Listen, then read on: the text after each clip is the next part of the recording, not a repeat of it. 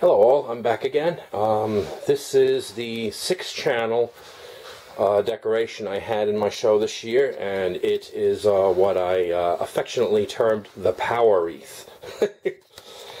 At any rate, there's six channels of lights in here and what I did with these is I actually took 50, uh, 50 count light sets uh, that I got at Walmart and I cut them in half.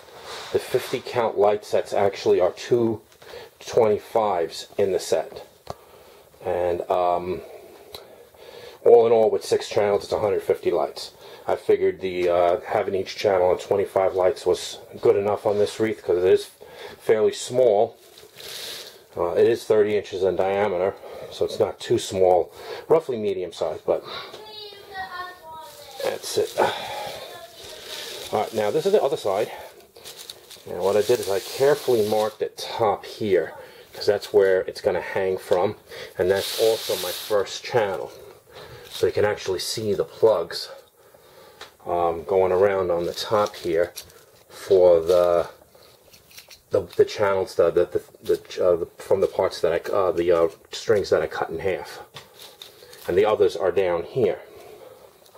Now all of them terminate at this terminal block here and that's how I wired them in accordingly. All the neutrals go on the first, the uh, the first and the uh, the fifth um, position on this uh, terminal strip.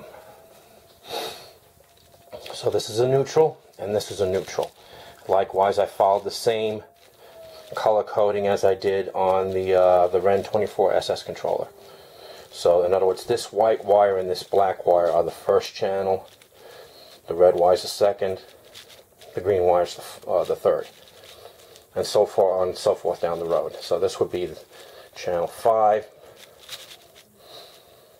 6, 7, uh, actually this would be 6, 7, and 8. This is a, uh, wait a minute, sorry, 1, 2, 3, 4, 5, 6. Where am I getting 8 from?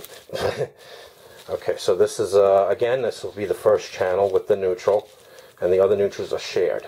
So this is channel 1. This one here is channel 2. This is channel 3. These two here are channel 4. Again, that's a black with a neutral. This is channel 5, and this last one here is channel 6. And I went around the wreath, so basically what happens is this is channel 1, 2, 3, 4, um, wait a minute, I think it's 1, 2, 3, 4, 5, six. So I think six maybe end up around here. And that's basically it for the wreath.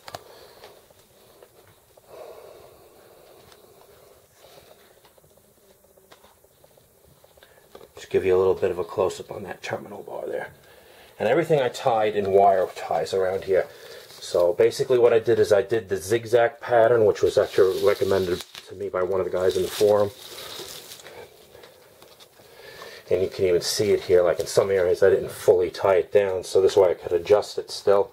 But it actually turned out fine so I might permanently set it like that. But I went zigzag back and forth like this so this way most of the lights would be on top. And you know very little would be on the other side. And um, going that way also maximized the uh, amount of lights that uh, I needed on top uh, which is uh, probably also another factor in determining why that I didn't have to um, use a whole 50, 50 strand light. If the wreath was being viewed by both viewed by both sides, then it probably would have been more better just to go wrap it completely around. So that's it. That's the uh, power wreath.